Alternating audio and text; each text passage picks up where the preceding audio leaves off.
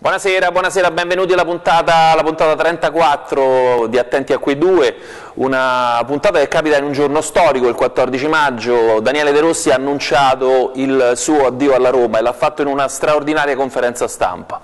Uh, in questo momento così, di sbandamento dei valori calcistici, il Palermo, il Foggia, tutto quanto il casino che si può immaginare, guardatevela su YouTube, una lezione di stile alla società e a che cosa significa essere calciatori e anche punti di riferimento per un sacco di persone. A questo punto, scusatemi, dopo i 10 milioni di euro di paracadute che daremo a Antonio Conte, De Rossi cerca squadra, sta vicino a casa, tranquillo. Lui ha detto che in Italia sarebbe andato solo all'Ostia Mare ma il Frosinone che gli ha fatto rispetto allo Stiamare? Sì. Bella, bella, alta Serie B, tranquillissimo, ecco fatto. E parleremo a proposito insomma, di tutte quante queste vicende in questa serata, lo facciamo come al solito con un parterre di ospiti di assoluto rilievo, cominciamo dalla mia estrema sinistra, dall'avvocato Mauro D'Agostini, con proprio ormai storico esperto di mercato in Italia, punto di riferimento del mercato italiano. Mauro, buonasera. Armando, buonasera, grazie, sempre troppo buono. Subito dopo Laura, Laura Collinoli, grandissima Laura, bentornata, siamo veramente contenti di averti tra noi di nuovo. Con l'eccezione mia, se possibile. Grazie. Stefano è sempre molto carino. Stefano si è presentato da solo, eccoli qui, 80 punti l'anno scorso, 60 quest'anno, fanno 140 punti, alla mia destra Francesco Pippenburg, allenatore del Ferentino Calcio, benvenuto, anzi bentornato, bentornato da noi, buonasera. Buonasera a voi.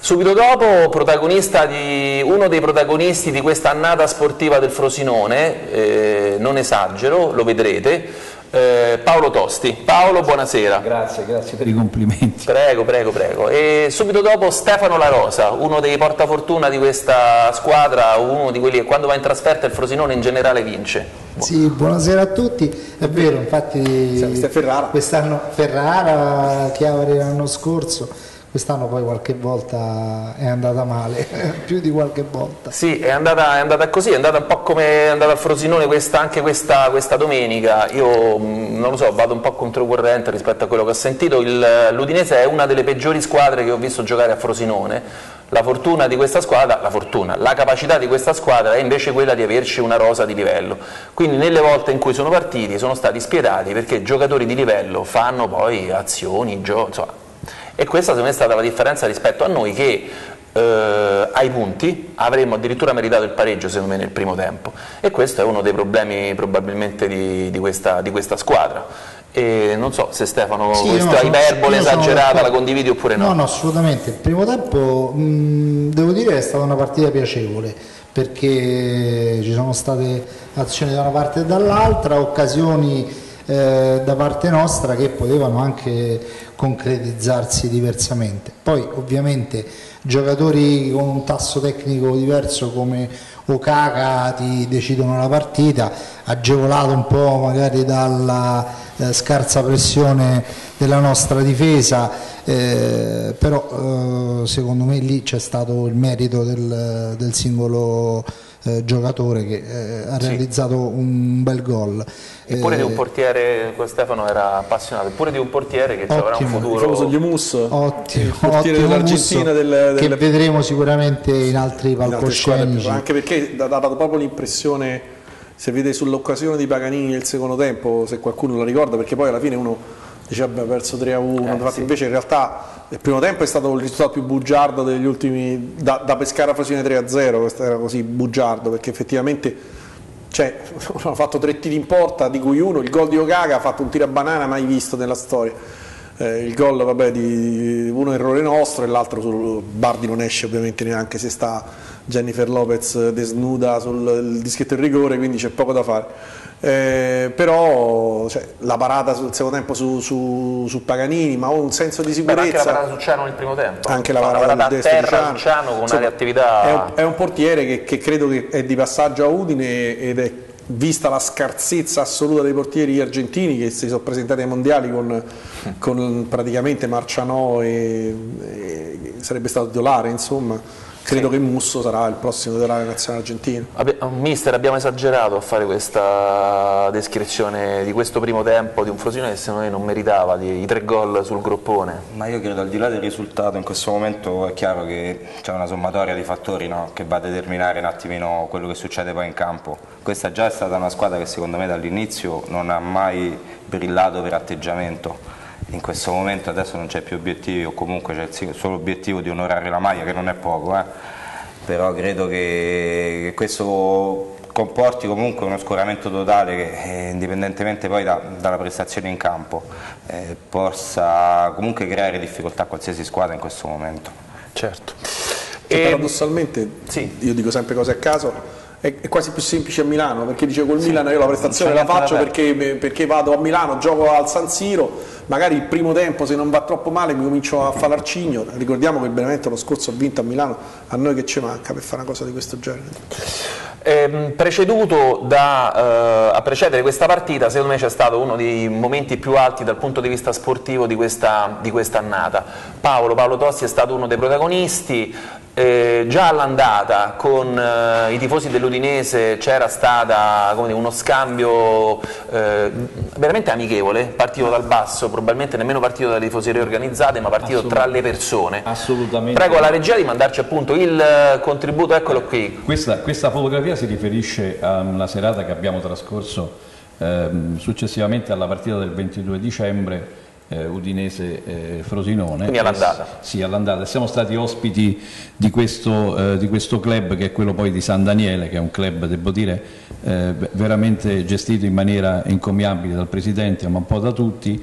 E non lo so, siamo stati ospitati in una maniera incredibile, veramente ci siamo sentiti a casa nostra e si è parlato sicuramente di, di calcio, della partita, però poi eh, dire, la cosa che è importante è, è quella, che, quella, che, stiamo vedendo adesso eh, in televisione, cioè proprio eh, passare eh, questi momenti eh, al di fuori poi de, dello sport, eh, nella, in quello che secondo me è la cosa più importante, l'amicizia. Lo sì, diventa, di, diventa un'occasione, un'occasione sì, di incontro.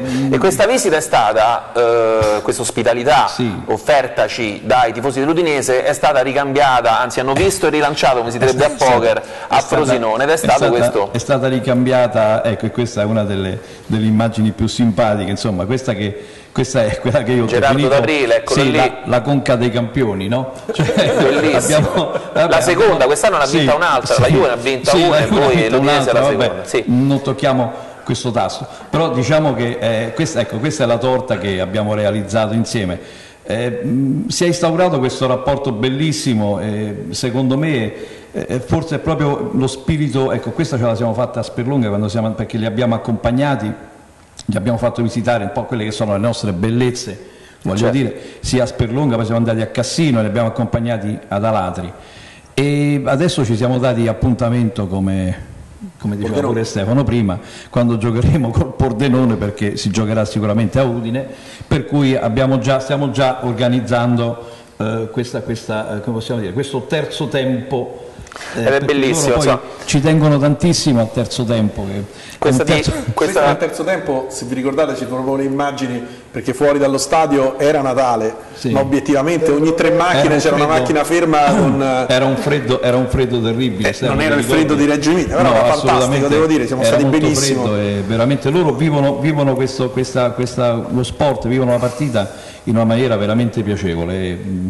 Secondo me questa cosa bisognerebbe farla Certo. un po' dappertutto, insomma. Quando Certo. ci si riesce, No, infatti questa cosa- non quest- con tutte le tifoserie è possibile, perché insomma voglio dire, Questa cosa, è, volte- questa cosa è straordinaria, è stata una domenica insomma, intensa e straordinaria questa qui allo Stadio Stirpe e Andrea, Andrea Santa Caterina Siluerie eh, questa sera lo abbiamo, l'abbiamo lasciato lì, è ancora lì, è ancora lì sulla, sulla curva e lo, lo voglio salutare, oggi sarà una, così, una presenza particolare quella di Andrea.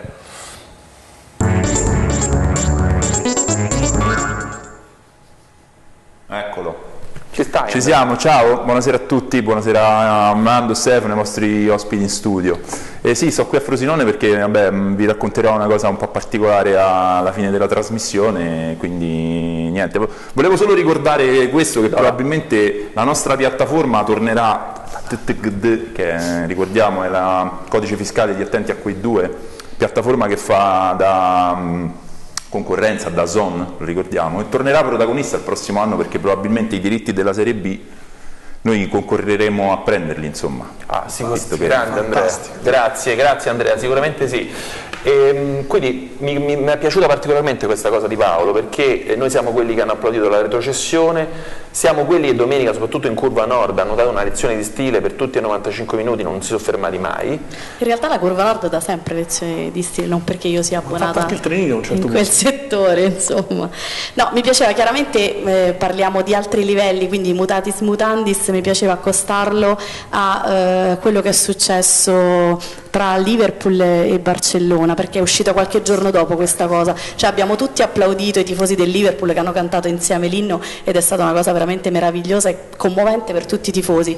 Però poi qualche giorno dopo è uscito questo, eh, questo video dal settore del Barcellona che inquadravano i tifosi del Liverpool e sono partiti con un applauso meraviglioso, insomma in un momento per loro chiaramente difficile dal punto di vista sportivo. E quindi insomma è ricordarci, me compresa, eh, perché non sono sempre così sportiva, ricordarci come insomma, siamo principalmente tifosi ma anche sportivi.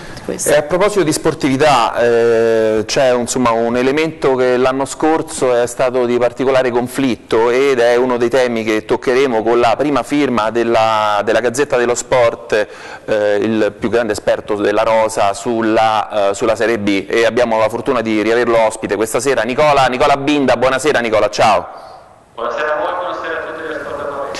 Allora Nicola, noi ovviamente eh, non ci piangiamo addosso, siamo già proiettati al prossimo campionato, al prossimo campionato di Serie B, eh, la cronaca è così, la toccheremo in modo tangente, diciamo. questa questione del Palermo, ma direi anche la questione della, della Salernitana, che impressione ti sei fatto tu di, questa, di, tutta quanta questa vicenda, in particolare guarda quella della Salernitana, perché quella del Palermo ci pare abbastanza chiara, che ne pensi tu? Beh, eh, non avessimo già passato l'estate che, che, che è passata dieci mesi fa, eh, cioè, diciamo che siamo concertati, insomma, però quell'estate lì ci ha fatto capire che può succedere di tutto. Ormai di, di certezze ce ne sono poche e, e purtroppo eh, mi auguro che la nuova Federcalcio riesca a evitare delle situazioni poco edificanti come quelle dell'ultima estate, però quello che è successo in queste ore fa, eh, ci ha ributtato tutti quanti in confusione perché è, è inconcepibile e, e, mi aspetto che giovedì il Consiglio federale risponda, risponda alla Lega Serie B a questo provvedimento eh, assolutamente inaspettato e, e decida di, di, di, di intervenire perché non si può accettare una cosa del genere. In particolare, mm, mm, noi crediamo che, come andrà a finire secondo te? Noi crediamo che alla fine il Palermo resterà in Serie B con un po' di penalizzazione, più oscura invece la vicenda relativa ai play-out, per quanto Mauro D'Agostini, qui da noi, insomma, un avvocato, avrebbe una teoria rispetto a questo. Non so no, se... vabbè, la notizia è uscita anche su vari siti di informazione sportiva, praticamente la decisione della Lega, della Lega di Serie B va contro quello che è l'articolo 51 delle norme federali della, della FIGC, perché lì si prevede che in caso in, cui sia in questione il, il, titolo sportivo di una squadra, nel caso in cui eh, si parli di retrocessione c'è necessità di uno spareggio, quindi essendo il Palermo eh, retrocesso come ultimo, cioè praticamente la, la, la, penalizzazione prevede l'ultimo, posto in classifica, quindi ci sarebbe uno slittamento diciamo, delle posizioni delle ultime squadre e quindi il Foggia dovrebbe giocare lo spareggio per i play-out. Sì, ecco, per, per, dirla meno da avvocato, con tutto il rispetto, un po' più da, da uomo di strada, diciamo che eh, il regolamento del, dei campionati, le leghe lo propongono alla Federcalcio e la Federcalcio lo ratifica. Il regolamento della Serie B prevede tre retrocessioni più un play-out fra due squadre. Questo re- regolamento è stato ratificato dalla FIGC. Ieri il Consiglio direttivo della Lega Serie B l'ha stravolto, ha detto il play-out non si gioca di punto in bianco. Chiaramente la federazione è offesa perché dice voi avete violato, eh, non avete rispettato un regolamento che io ho firmato e quindi giovedì il Consiglio federale si vedrà a Federcalcio come risponderà. Poi, poi, voi dite che il Palermo farà la Serie B, non lo so, può darsi, può succedere di tutto, ripeto, ne abbiamo visti di tutti i colori, quindi il processo di appello potrebbe anche riammettere il Palermo e in questo caso faremo una Serie B a 21, cosa succederà? E, e, se il Foggia, e se il Foggia dovesse, che, che, fa ricorso anche il Foggia, perché il Foggia ha diritto a giocare questo play-out, no? Se il Foggia fa ricorso e ottiene ragione, ha già nominato il professor Catricalà come avvocato difensore, il Foggia tra l'altro. Quindi se il Foggia dovesse aver ragione, avrà una Serie B ancora 22 squadre, dopo che quest'estate abbiamo, c'è stata tutta quella battaglia per arrivare a 19 cosa no, succederà? È veramente, veramente, una questione complicata. Senti Nicola, una cosa ti voglio chiederti, eh, ovviamente noi insomma, il prossimo anno saremo una squadra retrocessa, che pericoli e quali invece sono le opportunità di una squadra retrocessa in, eh, dalla A alla B? Intanto Frosinone ci è già passato, quindi sa benissimo cosa succede quando si ritorna indietro dalla Serie A. Eh, sa benissimo lo stato d'animo qual è, la, la, delusione va smaltita in fretta, bisogna voltare pagina e ripartire trovando nuovi stimoli. Eh, quindi Frosinone sa benissimo, è una società esperta, sa benissimo come si deve approcciare al nuovo campionato. In più va detto che l'anno prossimo si profila una Serie B non di grandissimo spessore, perché adesso vedremo quale sarà la terza promossa in Serie A, però tra le squadre salite dalla Serie C e quelle che retrocedono dalla Serie A e quelle che rimangono in B, non vedo un campionato con 7-8 squadroni pronti a vincere il campionato, vista adesso che siamo al 13 maggio, quindi in larghissimo anticipo, però l'anno prossimo non, non dovrebbe essere una Serie B irresistibile, cioè ci saranno l'Entella, il Pordenone, la Juve Stabia, il Chievo che è un po' in disarmo, forse l'Empoli, non lo so, cioè, non, non sono al momento arrivate delle novità, delle squadre terrificanti e quindi l'anno prossimo se adesso con la terza mettiamo sale il Benevento eh, o il Verona per esempio ecco che un'altra big se ne va e quindi l'anno prossimo sarà una serie B decisamente abbordabile. Però adesso non vorrei essere precipitoso perché è il 13 maggio però lo scenario che si delinea è questo eh, Mau, Stefano e poi no, faccio, io faccio una domanda invece sulla, sulla base dei, dei, campionati passati, sulla Serie B, cioè che in ogni campionato uh, c'è sempre una squadra o addirittura due come l'anno di Spalla e Benevento che riesce a fare il doppio salto. Mm. Potrebbe, sì, è vero. Ci potrebbe essere qualcosa, qualcuna delle squadre che sono salite dà questo tipo di idea? contando che ne devono salire ancora due dalla Serie C, intendiamoci, che potrebbero essere anche e squadroni, appunto. insomma, nel senso con, con blasone, tipo che so, il Catania o, o lo stesso Trapani, insomma. Sì, ecco, al, al, momento sono salite Juve Stabia, Pordenone ed Entella, il Pordenone e l'Entella soprattutto sono due ottime società, dire che pensino al doppio salto mi sembra un po' precipitoso, la Juve Stabia è la società che ha già fatto la Serie B, che anche loro ritornano, però non mi sembra una squadra che abbiano velleità tipo Parma eh, due anni fa o lo stesso Lecce di quest'anno che era un club importante, quindi vedremo chi vincerà i playoff, però in B può succedere di tutto, oramai questa che era una sorpresa, la, la neopromossa che vince il campionato, oramai è diventata quasi la normalità, quindi, sì. quindi eh, possiamo prepararci a tutto. Cioè, Mauro con una domanda velocissima perché mi ricordo benissimo che, insomma, del tuo impegno. Quindi, sì, Mauro. sono a un evento e mi sono... chiedo scusa. Ma, ma ha sotto contratto per la, prossima, per la, prossima, Serie B parecchi giocatori eh, che, che, formano una signora squadra in attacco, tanto per fare alcuni nomi abbiamo Ciano, Dionisi, Ciofani. Ecco, la domanda è questa. Lei, lei ritiene corretto eh, puntare per il prossimo anno sui giocatori che già sono sotto contratto oppure la retrocessione impone comunque la necessità di, di cambiare un po', di portare un po' di novità, cioè di mh, mm, aria nuova diciamo, per, anche per il discorso del pubblico che magari è rimasto molto deluso da questa retrocessione? Ma conta molto la testa, conta molto l'approccio. Siccome i giocatori che hai nominato, soprattutto Dionisi e Ciofani, ci sono già passati, sanno cosa vuol dire eh, giocare a Chiavari o giocare a San Siro. Eh, devono tornare a avere quella mentalità che li ha fatti diventare dei califfi della, della Serie B de, che, che, che, hanno vinto due volte. Se loro tornano in Serie B con questa mentalità, che il Frosinone è un organico straordinario, però anche il Palermo che sono un organico straordinario e sono due anni che ce l'ha e due anni che non riesce a vincere, perché non hanno mai smartito bene quelle scorie della delusione, tutto l'ambiente, anche l'ambiente deve essere in grado di voltare pagina e dire quello che è stato è stato, riproviamoci, compatti, lottiamo uniti.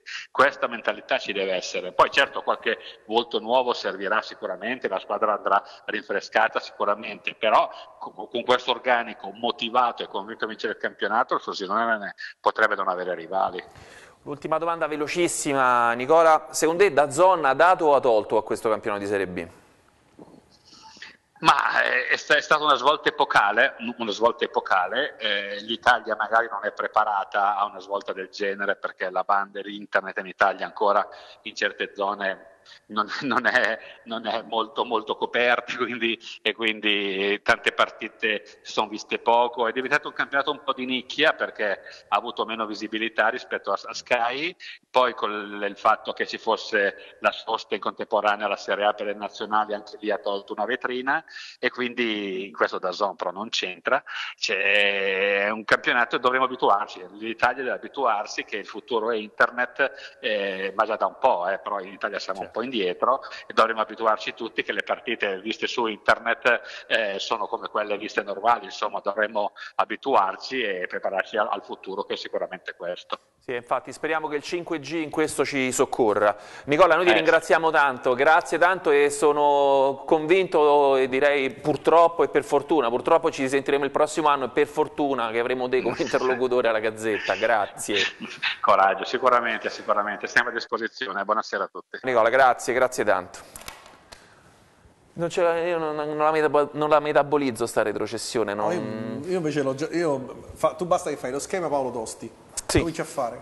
Però Pordenone, c'è cioè Luigino, il club San Daniele e quindi andiamo lì. Poi Stefano, andiamo a Chiavari, la stessa, mi prendo proprio la stessa macchina a noleggio, quindi io te, Angelo Battisti, Paolo Sellari, la stessa formazione, il, il, il, il Larosetto e, e, andiamo con la stessa... Cioè, se la prendi in questo modo, alla fine è divertente. Bisogna vedere i giocatori come la prendono, eh, perché il problema è... è... lo stesso, se vi ricordate, all'inizio con, con Marino, Marino, Marino di voglia il più presto allenare, aveva le prime otto partite facemmo 2-2-3, quindi facemmo sette partite, due vittorie, due pareggi e tre sconfitte, perché ci volle un pochino per, per metabolizzare. Io credo che per dire eh, Dionisi cercherà di spaccare il mondo, perché dopo che è stato fermo un campionato, credo che sarà motivato, per dirne resta. uno. Ma io credo che restino, sì, lui speriamo, che Dani resteranno. Speriamo, speriamo. Lui, loro restano, bisogna il resto. La chiedo, chiedo all'allenatore, come, come, si ricomincia? Cioè, che, da come si parte con il ritiro? Come, che, che, succede? Innanzitutto ripartirei da, dal gruppo storico, perché, perché, comunque è un gruppo abituato già a questo, a questo passaggio. E poi sicuramente non sarà facile, perché comunque poi quando ti abitui a determinati palcoscenici, poi ecco come dite voi, tornare a Pordenone, Entella piuttosto che San Siro, insomma l'aspetto mentale credo diventi fondamentale, il lavoro della società diventi fondamentale, ma soprattutto il rapporto dei tifosi, sarà quello il tutto secondo me.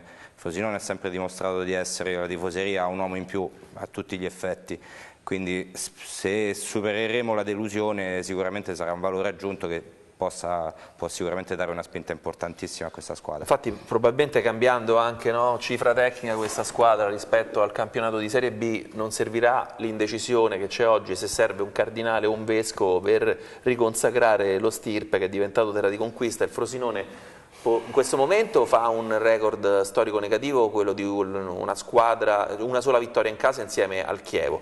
Riuscendo a vincere a questo punto col Chievo in casa si riuscirebbe a raggiungere le squadre di blasone come il Legnano, come... Sì, fuori casa siamo una squadra da classifica, una cosa... un po' dire, come il Ferentino odiosa. che è una squadra... Sì, siete... poi ne parliamo, del Ferentino poi ne parliamo. No, no, Scusami Stento, No, no, io dicevo, questo, questo è evidente quello che diceva l'altra volta Sconcerti, cioè essendo una squadra passiva è evidente eh. che, che, fuori casa eh, diciamo paradossalmente va meglio. E, guarda, il, il, discorso è molto semplice, bisogna vedere un attimo, innanzitutto dipende molto poi dai quadri tecnici. Eh sì, di questo ne parliamo subito dopo la pubblicità. Eh. Ah, Avremo ospite Daniele Ciardi di Ciociari Oggi e con lui inizieremo a fare un ragionamento rispetto a questo tema, ma c'era Mauro che aveva già sette giocatori da proporre al... Oltre a Ochereghe di Serie B, eh, io non la vedo così facile come no. dice Nicola Binda con tutto il rispetto per Binda che è un, un esperto, una persona molto competente. Secondo me, secondo me, invece è un campionato che presenta molte difficoltà per le squadre che retrocedono dalla Serie A, l'abbiamo visto quest'anno. Il Crotone ha rischiato di, di retrocedere pur avendo un organico di assoluto spessore. Il Benevento secondo me forse è l'organico migliore, va a fare i playoff e comunque non li ha vinti. Il Verona la stessa cosa, ha rischiato di non entrare nemmeno nella griglia playoff, quindi non mi sembra un campionato così, così semplice, anche soprattutto per le difficoltà appunto la, a metabolizzare l'amarezza legata alla recessione. Certo, poi bisogna ragionare su come impostare. Una cosa dipende molto dal Chievo secondo me, cioè dipende dal fatto che il Chievo ha fatto questo campionato di disarmo, si prende 24 milioni di euro di, di paracadute per ripartire o se invece la favola Chievo in senso generale è finita come diciamo, denotavano gli ultimi bilanci, perché effettivamente i trucchetti del Chievo sono diciamo, la radice quadrata dei trucchi del Palermo, ma ribadisco, per fare 10 secondi il commercialista, il Chievo ha fatto gli ultimi 3-4 bilanci tutti basati sul, sulle plusvalenze con lo scambio col Cesena, quindi una serie di irregolarità contabili poter essere iscritta. Adesso gli arrivano i soldi veri e quindi da lì si vedrà molto se, se è disarmo o se riparte. Beh, ha già fatto esordire parecchi giovani. Sì, ce ne sono anche molto interessanti. Che Vignato è un giocatore che arriverà molto lontano. La sensazione credo che ce l'abbiamo un po', un po tutti. È, penso che anche Mauro, che è un tecnico, eh, mi può confermare questo ragazzetto piccolino. Vignato, dico, è molto forte. Poi c'è, brasiliano. Poi c'è pure, eh, appunto. Poi c'è anche insomma, un giocatore insomma, di colore che mi ha colpito eh, al Chievo No, diciamo che Giusse, quello dipende Giusse. molto, Giusse. dipende molto, beh, Giusse stava già all'Empoli eh, tre anni fa, lì dipende molto da quanto, loro, da quanto in realtà il Chievo voglia essere eh, dominante e voglia tornare subito, perché Però... può anche essere che molto semplicemente ha deciso che è come quello che accadrà al Sassuolo quando Squinzi deciderà di, di Già ieri di hanno schierato contro l'Inter tre, tre, giovani, il portiere che si è messo in particolare evidenza. Ma ne parliamo Lignano. subito dopo perché mi stanno facendo segni bruttissimi, mi stanno facendo segni bruttissimi alla regia perché è il momento della pubblicità e noi ai nostri sponsor li vogliamo particolarmente bene e li ringraziamo per tutta quanta questa stagione che ci hanno sostenuto in queste 34 puntate. Linea a loro.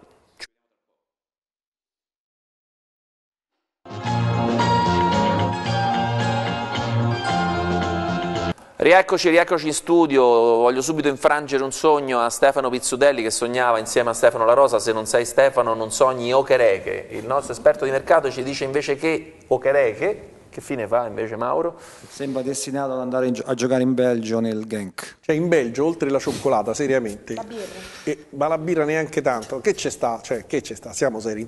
Neanche fra di loro parlano la stessa lingua. Qua almeno ci insultiamo tutti quanti in italiano. Forse sta qualche zero in più sul contratto. Forse. E sei sempre così precisino, però non è possibile particolarmente anche l'anno scorso avevamo caldeggiato Guamè eh, se vi esatto. ricordate eh, eh, nelle, ci ricordiamo nelle trasmissioni di fine campionato quando iniziavamo a giocare col, al fantacalcio fare noi osservatori eh, sì, non di, mi parlare di, di fantacalcio giocatori... che ho speso gran parte del mio budget per i Guain quest'anno non mi ha manco ridato i soldi quel eh, infatti questo è un problema no? Beh, comunque rientriamo dentro le, le, le questioni. Ehm, dovremmo fare un ragionamento almeno noi così in questo bar eh, che, che abbiamo Uni. qui ad Extra TV eh, rispetto all'allenatore. Questo baroni. Esatto, eh, questo baroni, che viene a, dire, alla fine di un ragionamento che passa per il direttore sportivo, che, che viene a sua volta dopo il ragionamento sul direttore generale e venne l'acqua che spense il fuoco, esatto, che bruciò il bastone, che picchiò il cane, eh, cioè, tutta quanta questa questione.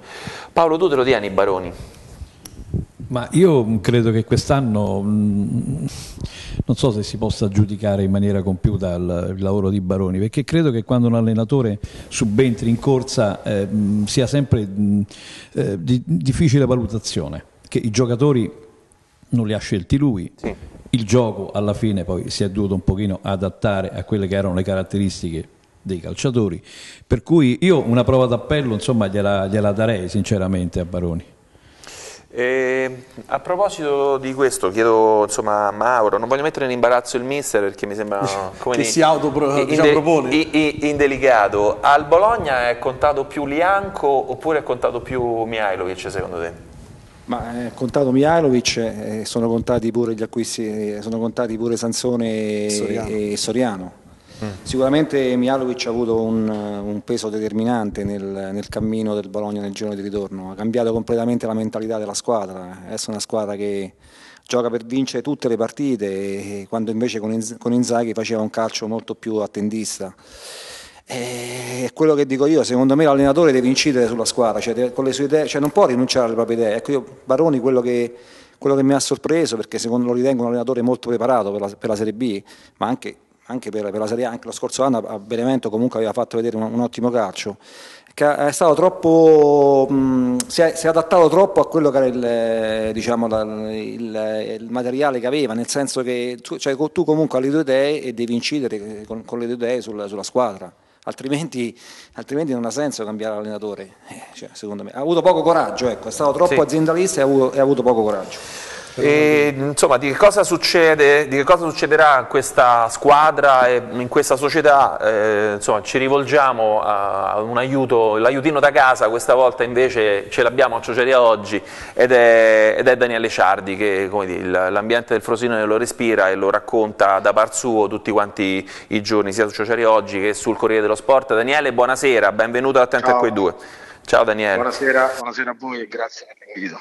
Senti, da dove, da dove, ricomincia il Frosinone? Diciamo che il discorso dell'allenatore è l'ultimo dei discorsi, il primo dei discorsi forse è la struttura societaria, addirittura il direttore sportivo. E invece come, come, pensi che succederà il ragionamento? No, sic no sicuramente sì, penso che eh, il direttore sportivo sia la prima mossa e subito dopo il direttore sportivo l'allenatore.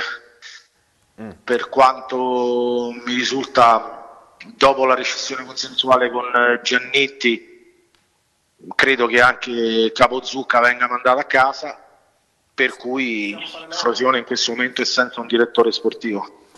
Mentre Stefano fa la ola sulla tua notizia di Capozucca accompagnato alla porta, eh, mentre tu pensi che il posto di Salvini sia saldo?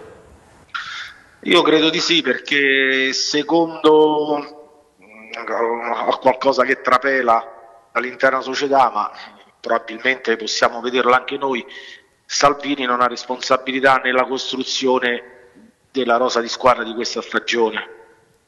Ok, senti no, mh, mm, le curiosità, eh, supponendo per assurdo, ma non troppo per assurdo, che sia Frara il prossimo direttore sportivo del Frosinone, tu pensi che Baroni sia un allenatore che utile in questo momento per rilanciare le ambizioni della piazza, perché penso che ci sia bisogno pure un po' di, una, di, un po di entusiasmo, come dicono a Napoli, di una gettata di coriandoli. Guarda, io più che dell'entusiasmo della piazza, eh, riferendomi a Baroni, per quanto mi risulta eh, il discorso va fatto in maniera diversa, nel senso che credo che ci sia del malcontento a livello di spogliatoio. E allora noi dobbiamo capire, se ripartiamo dai 15 giocatori sotto contratto, secondo me non si può fare con Baroni. Okay. Se, se poi se poi il Frosinone decide di tenere Baroni, probabilmente qualcuno dei sottocontratto chiederà di andare via. Dei sottocontratto senatori o dei sottocontratto sottocontratto? Ma alla fine i sottocontratto sono tutti senatori se togliamo Capuano e Zampano. Ma Zampano è veramente sotto, cioè, ha fatto veramente un contratto, cioè ha firmato? Sì, beh, ha fatto una bella trivela. Zampano, ha fatto Zampano una bella trivela aveva... domenica, bella trivela Zampa... sì. Zampano aveva un contratto credo legato alle presenze e penso che l'abbia raggiunto. Bene, bene, bene, veramente molto bene. Eh, senti, che pericoli eh, avverti tu per il prossimo anno? Perché eh, insomma, abbiamo sentito poco fa eh, Nicola Binda della Gazzetta dello Sport ci dice sì, ma in fondo dalla Serie C non è salito un granché, dalla Serie A sì, insomma, il Chievo, boh, l'Empoli, ma eh, sarà una passeggiata per il Frosinone che ha un super organico. No, eh, il discorso è quello, io temo soltanto il Frosinone, mm. lo dico sinceramente, sono d'accordo col collega Binda, però bisogna capire da dove e da chi riparte il Frosinone. Sì, infatti questo cioè, è... se non ci fosse stata la delusione di questa retrocessione mm. e, e, noi andiamo a prendere i 15 giocatori sotto contratto, io ti dico il Frosinone ha 4 attaccanti da 60 gol in Serie B sì. e alla fine gli attaccanti fanno la differenza, per cui starei tranquillo.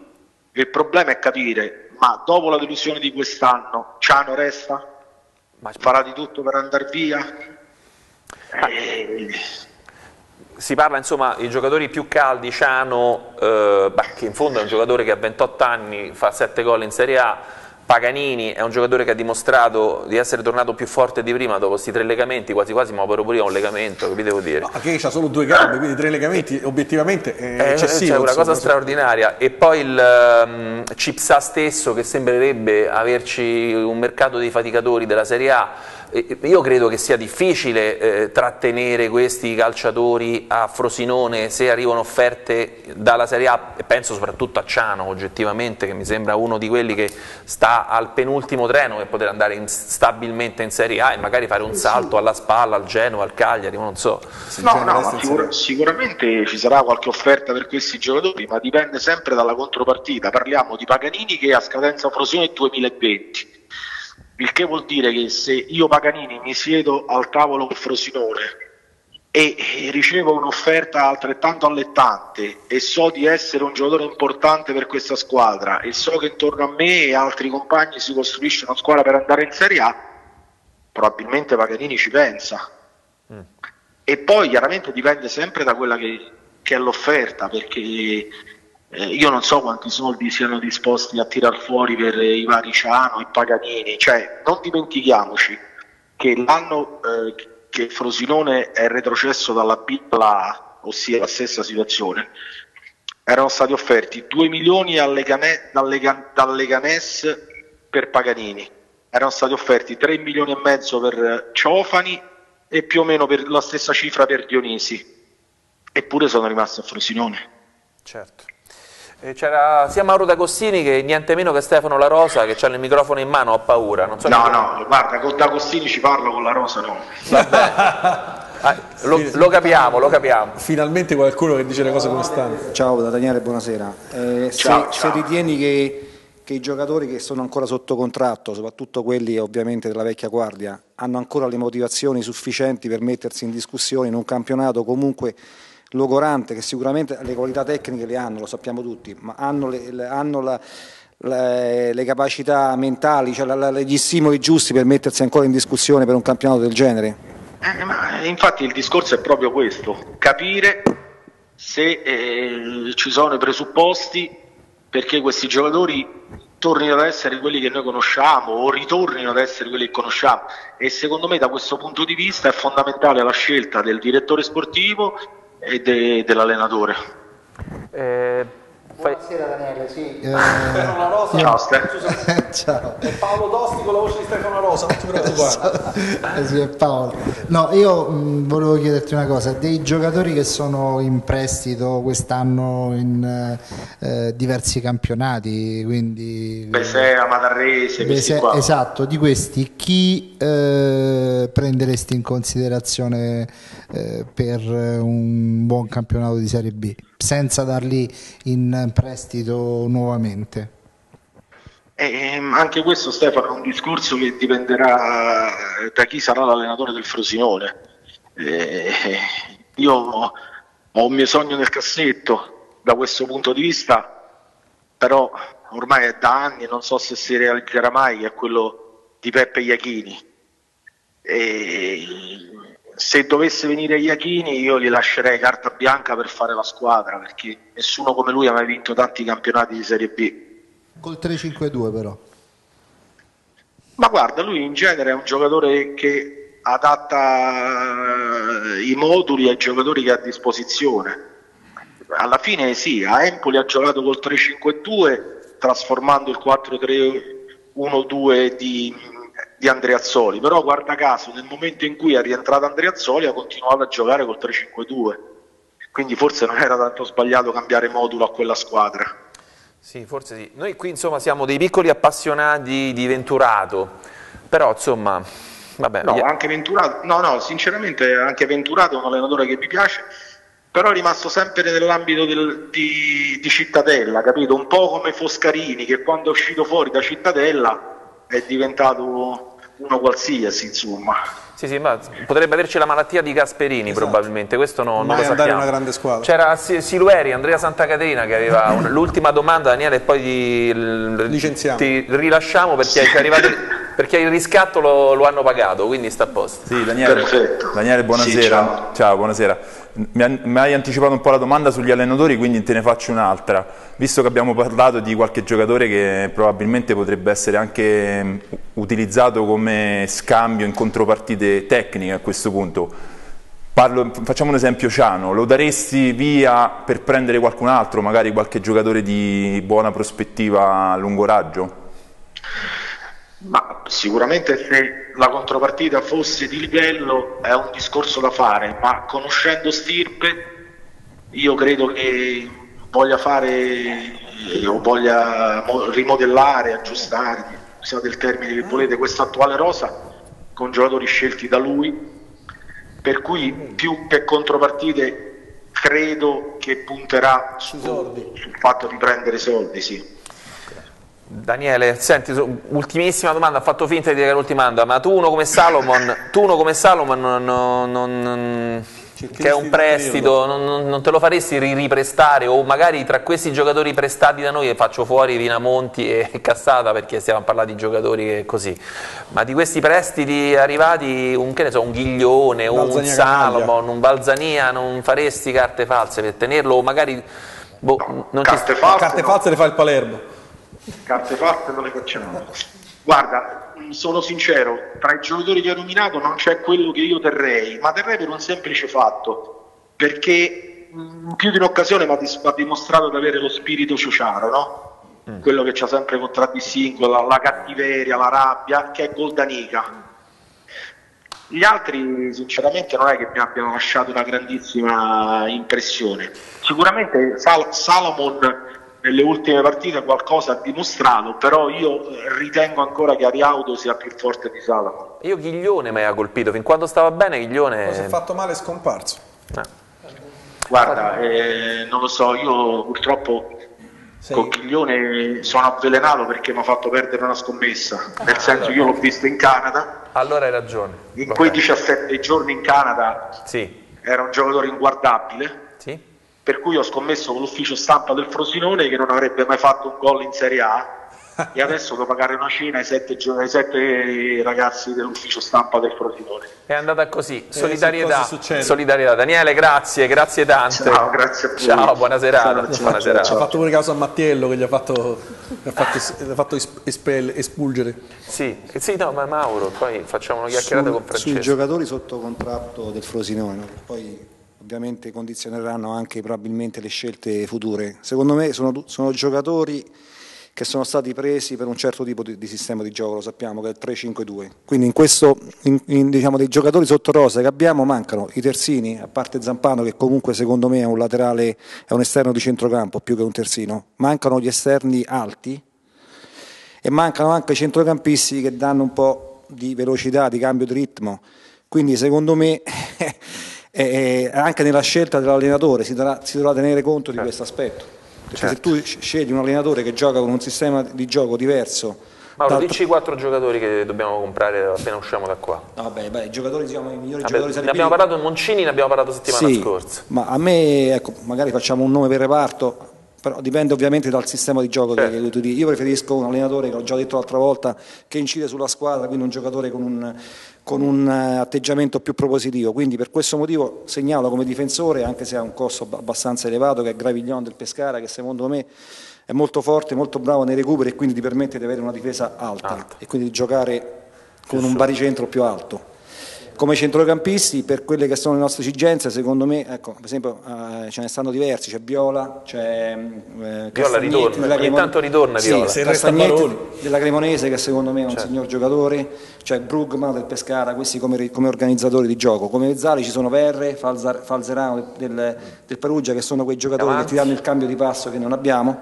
In attacco i nomi l'abbiamo fatto, io ho fatto il nome di Moncini, c'è la Mantia, c'è Donnarumma, eh, eh, certo. c'è Donnarumma ci andrà in c'è Vito, che è una seconda della punta. scelta. Invece con Francesco Wippenburg, che quest'anno è arrivato quinto in campionato, insomma 60 punti, arrivava da un campionato trionfale l'anno scorso, eh, è già chiara la strategia di mercato per vincere il prossimo campionato a Ferentino, o no? chiara, direi, chiara direi proprio di no. Abbiamo, ecco, ci stiamo incontrando adesso col Presidente, cerchiamo di capire se ci sono i presupposti per poter continuare a far bene. E in tal caso sì, cioè abbiamo molte idee, abbiamo molte idee col direttore su come improntare la prossima stagione, però chiaramente dipenderà tutto dalla società. Che campionato di promozione è stato questo qui? Questo campionato insomma, del Gaeta a un certo punto è partito, il, il Pontina ci è, andato, ci è, andato, dietro, alla fine vince il campionato il, il Gaeta con 6 punti di vantaggio sul Pontina. Vince meritatamente perché comunque è stata la squadra con maggior spessore tecnico fondamentalmente è stato un campionato difficilissimo, a detta di tutti, 6-7 squadre che si contendono insomma, la vittoria del campionato non si era mai visto negli ultimi anni, quest'anno è stato proprio così. E se pensiamo a squadre fortissime, per esempio come il Monte San Giovanni che è finita a metà classifica, Monte San Giovanni Campano, sì. ti dice un po' come è stato l'andamento, il livello è stato veramente importante con le pontine a farla da padrone, da padrone e il Gaeta che comunque veniva da un momento difficile a metà campionato è riuscito a cambiare allenatore e comunque faccio i complimenti appunto all'allenatore del nuovo del Gaeta è riuscito a fare un campionato strepitoso al giorno di ritorno. Senti, i punti di forza di questo Ferentino, che insomma da neopromossa poteva soffrire un po', invece non ha sofferto, invece che cosa è mancato per arrivare poi a fare il salto di qualità e alla doppia promozione? Il punto di forza secondo me è stato comunque il collettivo perché ho potuto contare su un gruppo di 26 uomini veri, ma veri uomini con la U maiuscola veramente. Qualcuno l'abbiamo seguito su Facebook, straordinario. sì, il nostro capitano virtuale Armando Rinaldi. E... È un gruppo fantastico, stato... siamo riusciti anche a esprimere un ottimo gioco nonostante il tanto odiato 3-5-2 in questo momento. Eh, ma dipende come lo fai il 3 Infatti non gli esterni questione, soprattutto. Non è una questione di, di, modulo ma di atteggiamento e di interpretazione. E, ehm, Abbiamo, eh, dicevo, abbiamo espresso un ottimo gioco, abbiamo avuto qualche difficoltà in più in casa perché molte squadre venivano qui col pullman davanti alla porta e abbiamo perso addirittura eh, qualcuna pareggiata ma altre partite perse in casa con eh, 15-16 occasioni da gol eh, fatte certo. contro Purtroppo quella è stata un po' una mancanza nostra, soprattutto con diciamo, le piccole, certo. dove abbiamo perso 16 punti, insomma, quelle che sono retrocesse. Però sarà stato pure un collettivo importante, però Ambrifi che fa 27 gol è un po' più collettivo degli altri, se vogliamo. È stato determinante, decisivo e chiaramente classico caso del lavoro che paga, eh, un, un in promozione trovare un professionista del genere eh, fa bene all'anima, eh, arrivi al campo, io arrivo solitamente tre quarti d'ora prima al campo, lui già sono tre quarti d'ora che sta lì, quindi un'ora e mezza prima, che si allena, fa posture, insomma è un ragazzo che, che è veramente un, un esempio importantissimo soprattutto per i più giovani. È questo, lo, lo, lo, aspettiamo Francesco Wippenburg, vediamo se, che cosa succederà a Ferentino, ma insomma lui lo sa, eh, questi, questi, campionati li attenzioniamo in questa, in questa trasmissione. E, ehm, ecco, facciamo invece attenzione a quello che ci dirà insomma, Andrea, Andrea Santa Caterina, che stasera ci eh, porterà in, una, in, un ricordo e ci fa piacere dargli subito la linea e accompagnarlo e seguirlo in questo suo ricordo. Sì, grazie Armando. Allora, se facciamo uno sforzo Diciamo che possiamo immaginare il Benito Stirpe come se fosse un gigantesco condominio, un condominio che ha al centro un meraviglioso patio che non è altro che un giardino verde bellissimo.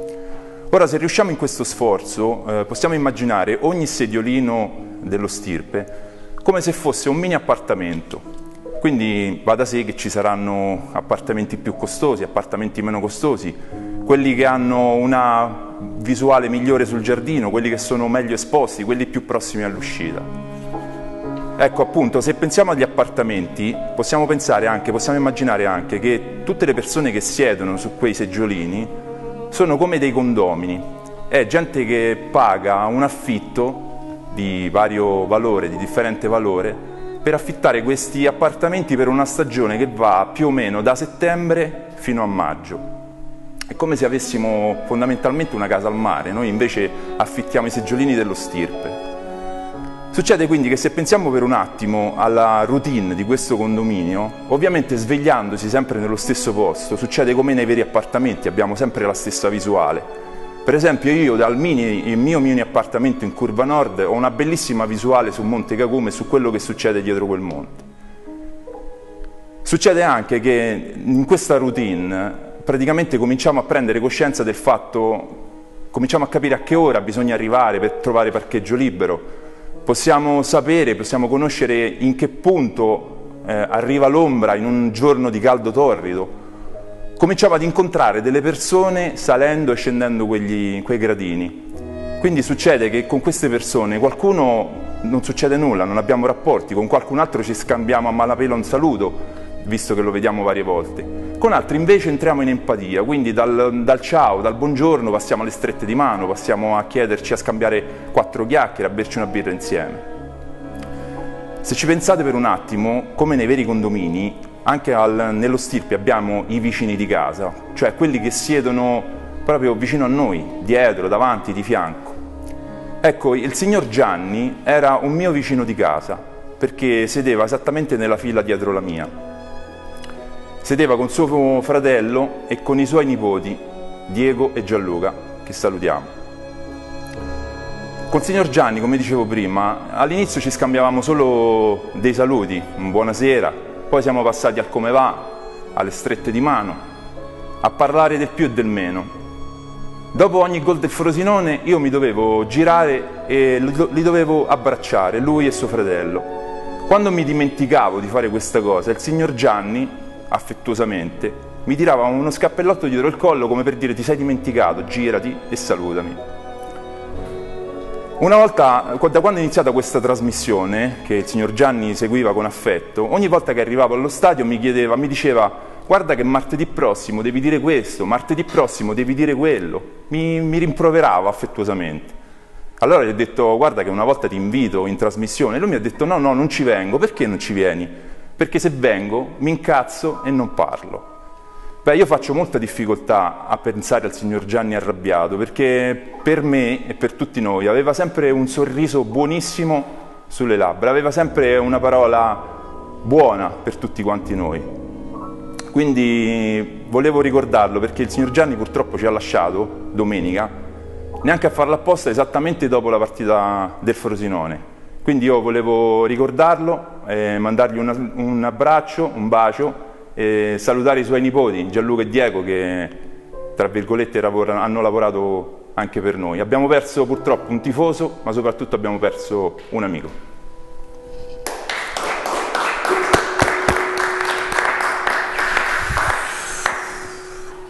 Andrea, grazie. Andrea, grazie come al solito ci riesci, ci riesci sempre a toccare, a toccare, il cuore. E, mm, beh, un po' complicato come al solito devo mm, intervenire dopo, dopo gli interventi, gli interventi di Andrea. Punto, Infatti, sì, sì, a questo punto... cose molto serie. Ah ecco, sono quelle delle cose serie. E eh beh, in questo caso sì.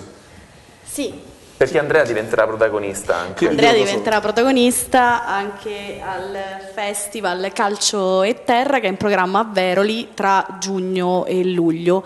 E è un festival eh, chiaramente dedicato esclusivamente al calcio dove abbiamo già confermato una serie di ospiti veramente mh, eccellenti. Faccio qualche nome, eh, il programma è chiaramente in fieri, però, ancora, però abbiamo già dei nomi importanti che sono eh, Riccardo Cucchi, Francesco Repice, Bellinazzo, Emanuele Dotto. Faremo una serata uh, Ius Sanguinis, Ius Culture con i calciatori di questo territorio e quelli che sono diventati di questo territorio come Alessandro Frara.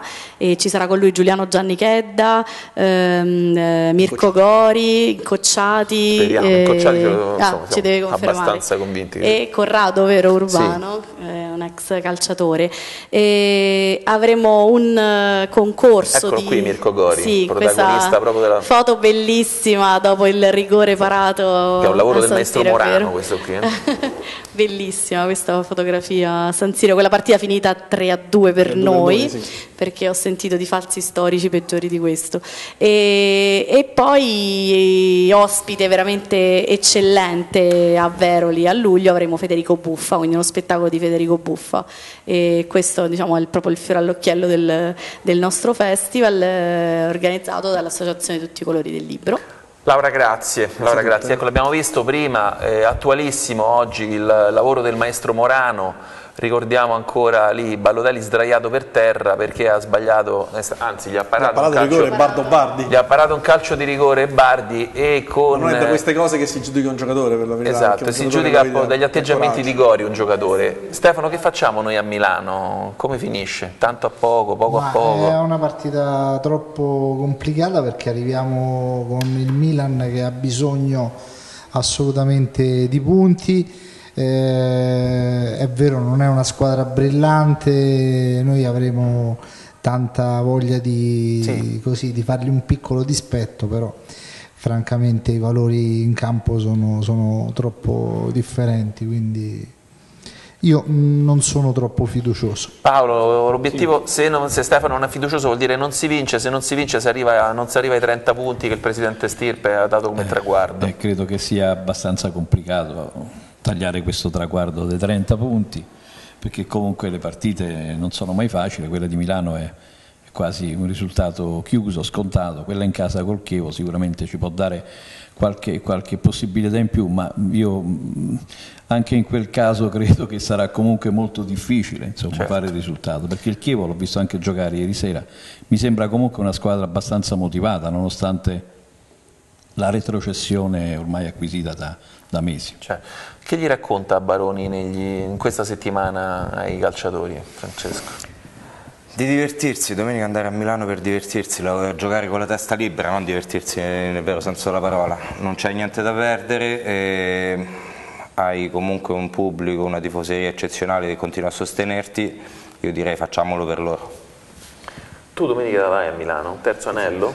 Sperando che reggi, perché viste le, le ultime diciamo, della Gazzetta, pare che il terzo anello verde soprattutto sia un po'... c'è difficoltà a comprare i biglietti in questo momento perché i siti funzionano male, però sì, andrò a Milano, la partita rimane alle 6 perché non verrà spostata alle 8 e mezza e niente, starò, starò, starò lì ovviamente guardando la partita, eh, credo un po' con lo spirito che diceva l'allenatore il mister, perché proprio io credo che un calciatore che è consapevole che magari può fare solo questa annata in Serie A o comunque adesso stare procedendo, una partita a San Siro la gioca con la motivazione del fatto proprio di, di stare a San Siro, poi hanno già, già venduto 60.000 biglietti, cioè eh, si arriverà sicuramente anche perché è l'ultima partita in casa dell'anno, il Milan deve andare in Champions, quindi sicuramente sarà una partita con tanto pubblico e molto bella, io credo, credo che eh, che segneremo almeno un gol eh, perché comunque non so perché ho questa strana ispirazione. Lo segna perché Ciofani, ricordo... no segna Paganini Ciofani, segna per Paganini. La so, per Elena per segna Elena, Ciofani anche Ciofani. no milanista insomma milanista di ferro Daniel Ciofani quindi insomma. Mauro, eh, se ultime due domeniche, ultime due partite, non facciamo sei punti, ne facciamo?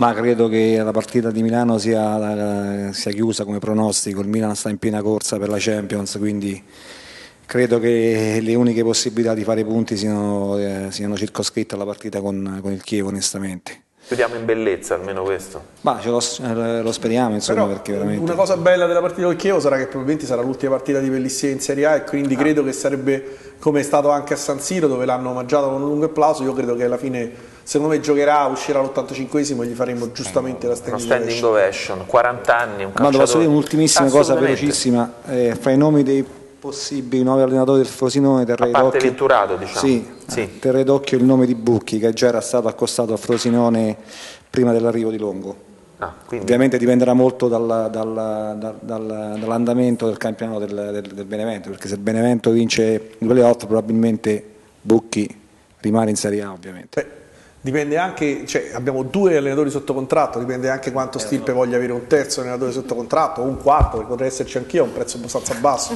Devo dire faccio un 3-5-2 brillantissimo. Va bene, niente, il tempo Vola, è stato tiranno. Facciamo, come dire, fa, quando la pensiamo la trasmissione facciamo un po' di fatica perché ho detto, oddio, ormai non c'è più niente da dire. Invece poi qua arriviamo qui e il tempo vola, è tutta colpa di Andrea Santacaterina che è rimasto tranquillamente... Io sì. perché se Cipsa si traveste da Bakayoko domenica possiamo dire la nostra perché Cattuso se lo guarda e si inviverisce sbaglia le formazioni quindi tutto il nostro vantaggio. Si cresce la barba nel, durante sì. il... Grazie Andrea, grazie, grazie a, uh, grazie, a Mauro D'Agostini di essere stato tra noi. Credo grazie che ti sequestreremo anche la settimana prossima perché le suggestioni di mercato a noi ci impressionano e quindi la, vogliamo continuare a essere impressionati in questo modo. Grazie. Grazie, buonasera a voi. Laura, grazie di essere tornata grazie tra noi. Grazie a voi e vi aspettiamo a Veroli il 15 e 16 giugno e poi le altre date. Grazie. A partire. A partire. Noi ci ha scritto Cherè che ha detto Belgio giammai. Ha detto Jamel e Belgique. Ha detto Cherè che non ho detto io. Francesco Pipmur, grazie, grazie. Grazie a voi, è sempre un piacere. Paolo, grazie tanto. Grazie. grazie. a voi, è sempre una bella esperienza e una piacevole Salutiamo Assunta, con voi. Salutiamo Assunta che è l'altro pezzo di Paolo che sta dall'altra parte della telecamera. Penso come i gemelli filippini, non corpo, possono andare separati. Un corpo e un'anima. Esatto. Stefano, Stefano, grazie tanto di essere grazie stato tra noi. Grazie a voi e spero di, di, di incontrarvi nuovamente, magari in una, part- in una trasmissione sì, eh, prega- estiva proprio dedicata al, al calciomercato. Ma quando avremo, Macarena, quando sa- quando eh, sapremo chi è il direttore sportivo e l'allenatore. ovviamente. Perfetto, va bene, cercheremo di fare anche, però le facciamo soltanto dopo le 23, così c'è Mauro D'Agostini, con, la- facciamo co- con gli aperitivi, facciamo le puntate No, di calcio pensavo perché così non era fascia protetta e potevamo fare quello che volevamo. Sì, grazie a tutti, grazie alla regia, grazie a voi che ci avete seguito e che ci state seguendo anche in questo momento su, su X Radio e chi ci seguirà nella replica delle, delle 21.10 la sta, la sta appunto vedendo. Noi ci vediamo per la 35esima puntata, martedì, martedì prossimo sempre alle 19. Grazie a tutti, buonasera, ciao.